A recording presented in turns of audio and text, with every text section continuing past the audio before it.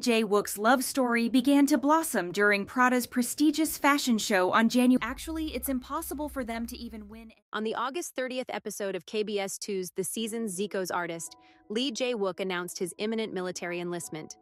During the broadcast, he shared personal stories with host Zico, including his high school days in a hip hop club. Lee Jae Wook also showcased his vocal talent by performing a duet with Zico, choosing Primary's Johnny, and explaining that while there were other songs he'd like to perform, he was limited in his choices.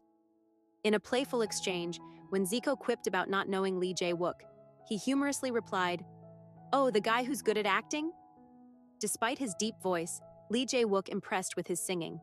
The two also performed Park Jae Jung's Let's Say Goodbye, which Zico noted was the song that initially attracted him to Lee Jae Wook and led to the invitation to the show.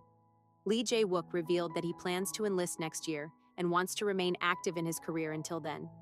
This announcement comes shortly after his breakup with aespa's Karina, which followed a two month relationship that began at a Milan fashion show. The couple faced public scrutiny and backlash, including a protest by fans of Karina, which ultimately led to their separation. Lee Jae Wook's fans are now eagerly awaiting his return post service and are curious about how he will evolve both personally and professionally.